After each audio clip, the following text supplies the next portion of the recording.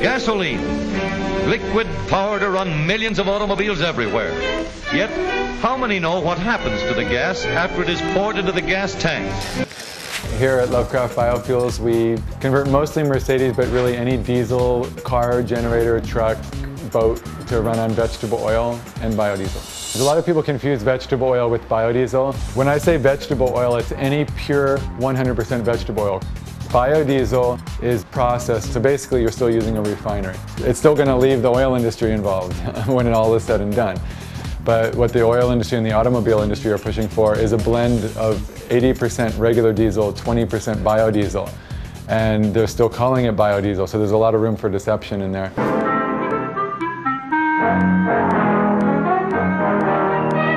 Man has discovered a virtually unlimited source of power. That source of power is gasoline, the chief product of the petroleum industry. A lot of people are using waste oil from restaurants and driving for free. The restaurants are being charged a dollar a gallon to have the oil hauled off, so they're very happy to give it to you Uh, to use and then you get free fuel.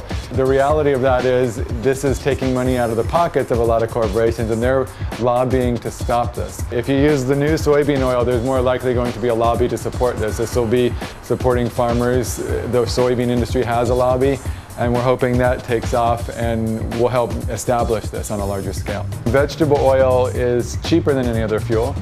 It's cleaner than any other fuel. It's, it's grown in the United States. All of the money involved in it can stay in the US economy. It's clean, cheap, and, and uh, a, a US product. If you think about it, the big rigs run on diesel, the Greyhound buses run on diesel, all heavy construction equipment runs on diesel. It's soybean oil, so when you drive the car, you're putting the same emissions out as in cooking a plate of food. It's not the engines that pollute, it's the fuel that pollutes. You put clean fuel in, you get clean emissions out. Anything with a diesel engine can be converted to run on vegetable oil and or biodiesel. The diesel has always had a reputation for efficiency and reliability. There's been a tendency to blame the diesel vehicles. It's not, they're some of the cleanest, most efficient engines ever made. It's just the fuel's dirty. Gasoline. Powerful stuff.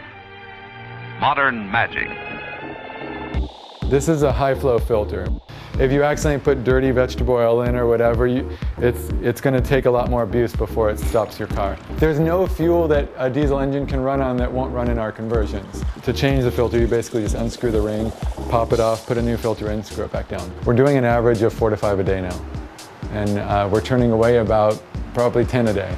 and hopefully we won't have to do that much longer. We're, we're gearing up for it.